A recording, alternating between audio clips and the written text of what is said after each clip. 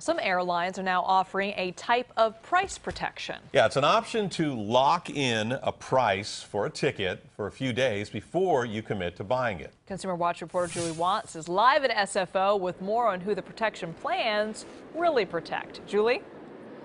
Yeah, guys, you know, these tools that allow you to lock in the lowest price on airline tickets are becoming more popular. More airlines are offering them, but we've discovered there is a catch. So I really thought that FareLock was going to give me the best price. News planning editor Gretchen White knows a thing or two about finding good travel deals. She books travel for station employees. I were to. One of her tricks? FareLock, a program offered by United that, for a small fee, lets you freeze a fare for a few days so it doesn't go up while you make up your mind.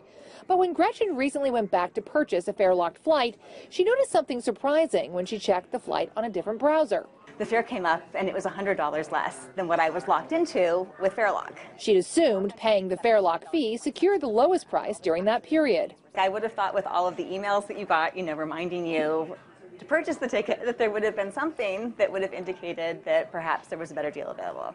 But it turns out that's not the case. Airlines uh, want to protect you against the fare going up but they want to protect themselves against the fare going down. Travel analyst Henry Harteveldt says it's up to the consumer to price check often to ensure they're getting the best deal. And United's not alone. American Airlines offers a similar extended hold program for a small fee, but like United, American says it only prevents the price from going up. They don't notify you if it drops. Though Harteveldt says that's increasingly rare. With demand up 4%, chances are fares are going to go up more likely than go down. And uh, I believe you'll see more airlines offer this in the future. So I ultimately ended up getting an even better deal.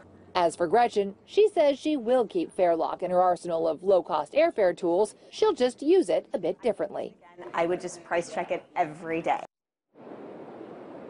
Now, there is a third-party option called TripLock that you can use on sites like Orbitz, Expedia, uh, Kayak, those third-party booking sites, and they say they do notify you if the price goes down. Meanwhile, it's important to remember that airlines are required to hold a quoted fare for at least 24 hours if you make a reservation, and you also are allowed to cancel within 24 hours for a full refund. So there's two days right there.